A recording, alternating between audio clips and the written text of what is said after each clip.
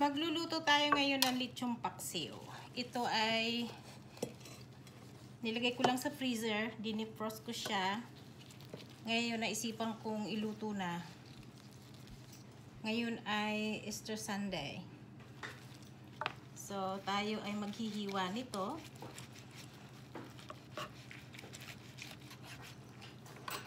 Again, ito yung version ko kung paano magluto ng lechong paksiw.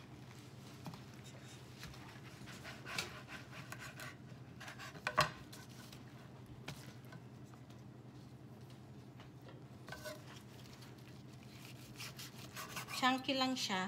Hindi siya maliliit. Diretso na natin siya sa pot.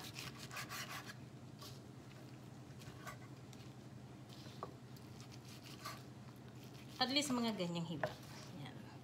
Puro laman to. Tapos mayroon naman siyang kaunting uh, taba lang. Oh my God! Ako'y naglalaway na. Niisip ko na na mapaparami na naman yung kain natin ito.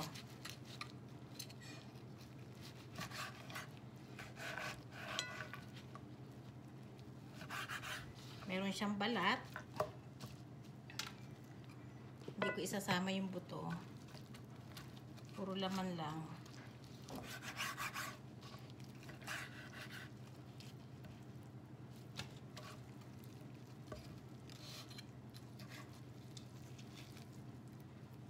Sama ko siya, oh. Ang ganda.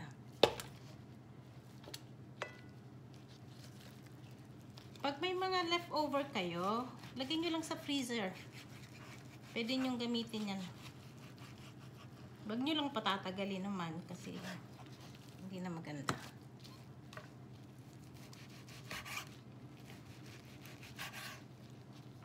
Tiin natin sa gitna.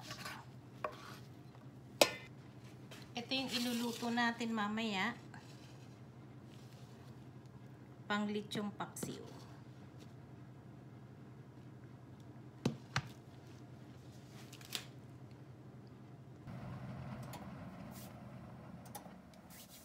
Okay, nandito na tayo. Magluluto na tayo ng lechong paksiw ko.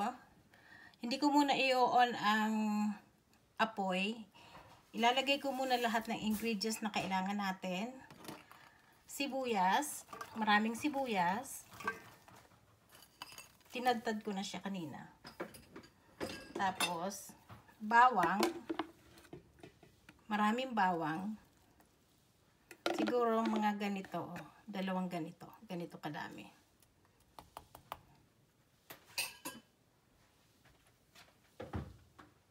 Hindi siya magiging lechong paksiw kung wala tayong lechon sauce.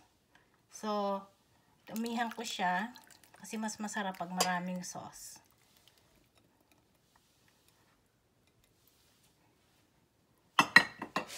Lalagyan ko siya ng asin.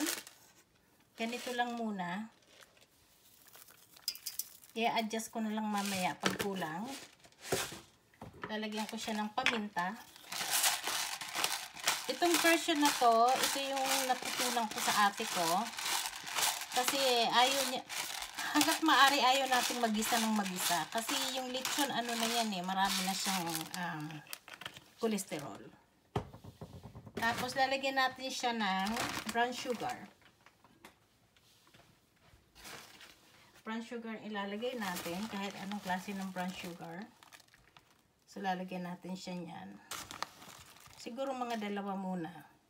I-adjust nyo na lang yung lasa pagka sa tingin yung kulang ng ganito, kulang ng suka. By the way, maglalagay ako ng suka. So, for now, mga kulang ng 3-4. Pag kulang mamaya, magdadagdag uli ako. Tapos, so nandiyan na lahat. Lagyan na natin ng apoy.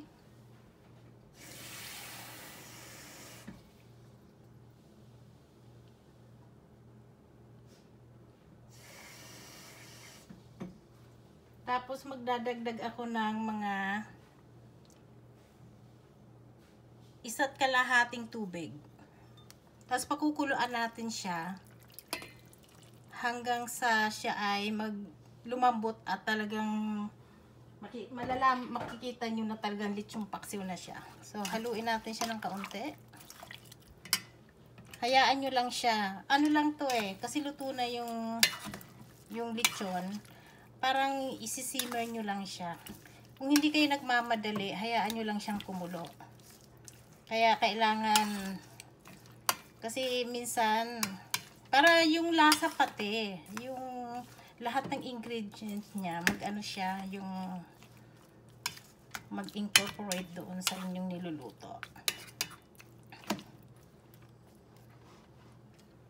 So, ganyan lang kasimple ang pagluluto. Kung meron kayong version ng pagluluto nyo ng lechong paksiw, go ahead. But this is my version.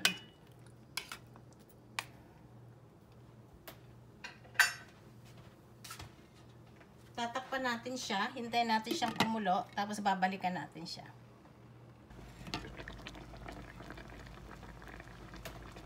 Kumukulo na siya.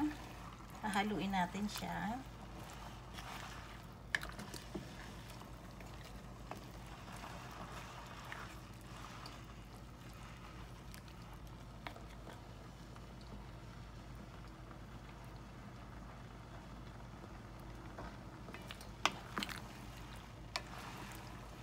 So, tama lang yung sabaw niya. Magtitiken pa yan mamaya.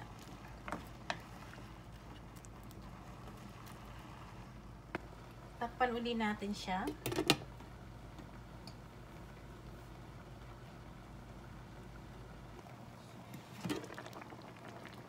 Ayan, kumukulo na siya. Again. Haluin natin siya.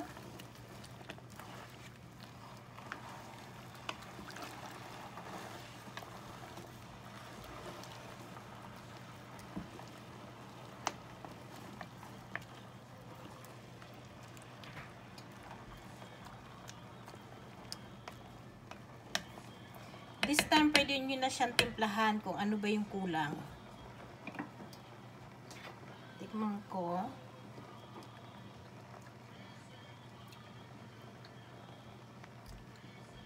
Kulang siya ng asukal.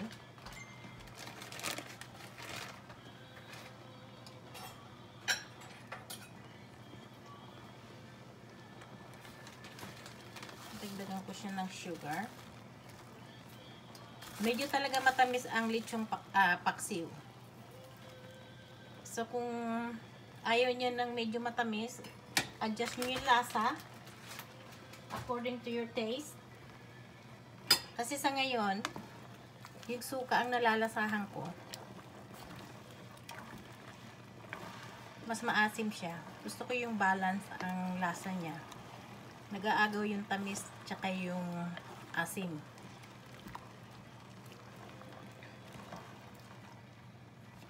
Dadagdagan ko siya ng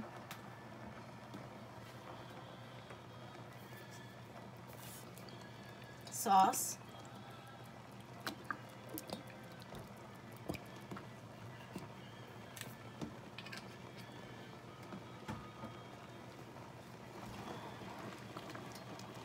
Kung gusto niyo ng medyo ma-spicy yung inyong ano, lechong paksiw, lagyan niyo ng ano, chili flakes.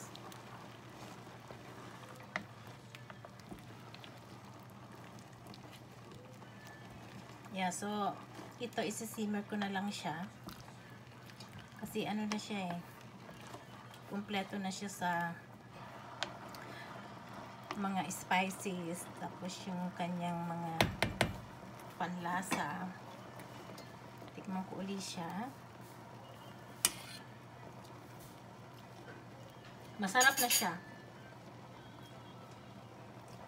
Igdagan ko lang siya ng paminta.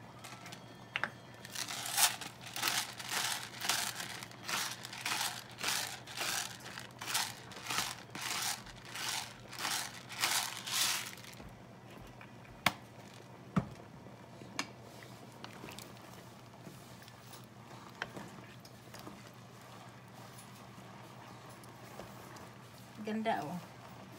Mukha na siyang masarap. Talagang masarap na siya.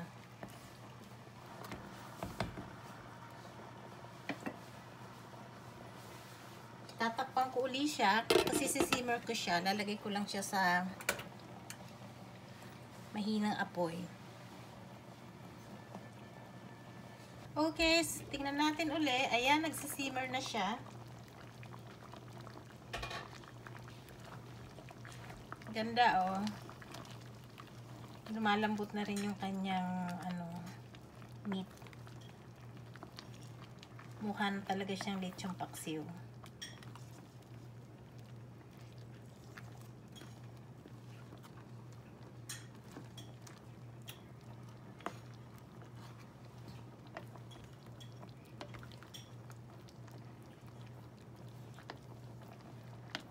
Yung kanyang sibuyas, makikita mo, hindi pa talaga siya luto kasi chunky pa yung ano niya sibuyas niya. Dapat lumambot din yan. So i-continue natin siya.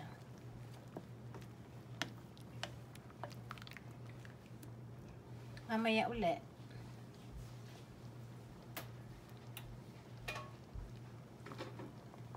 takpan uli natin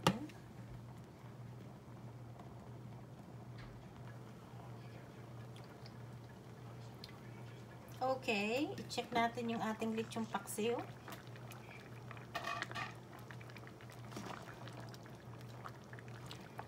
Luto na siya. Okay. Sarap niya, oh. Tapos mayroon siyang balat.